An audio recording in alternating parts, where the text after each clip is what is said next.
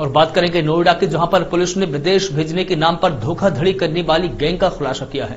Police ने gang के दो सदस्य को सेक्टर 27 धर दबोचा है, जिनके पास से पुलिस ने फर्जी आधार कार्ड, आठ पासपोर्ट और चार लाख रुपए से ज़्यादा के नकदी बरामद की है।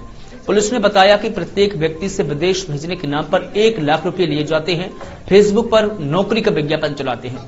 पूछताछ में खुलासा हुआ है कि गैंग ने अब तक 600 लोगों को निशाना बनाया है। पुलिस मामले में आगे की कार्रवाई कर रही है। इसमें दो व्यक्ति गिरफ़्तार हैं, सुधीर और हमीद।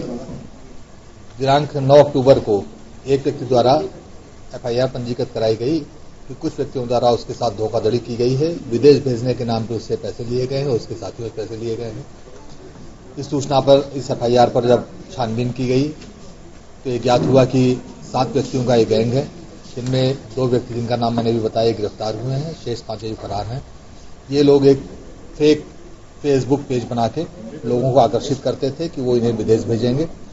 लोगों संपर्क करते थे और संपर्क करने के पश्चात उनसे पैंसठ हज़ार से लेके एक लाख रुपए तक ले लेते हैं।